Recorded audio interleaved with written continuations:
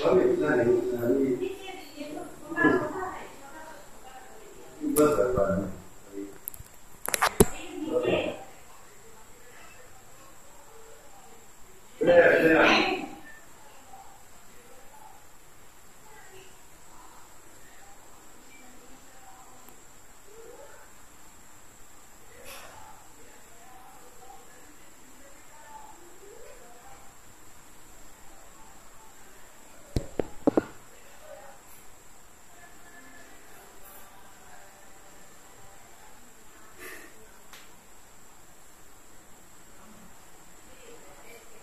Colours नहीं आ रहा तो है ना?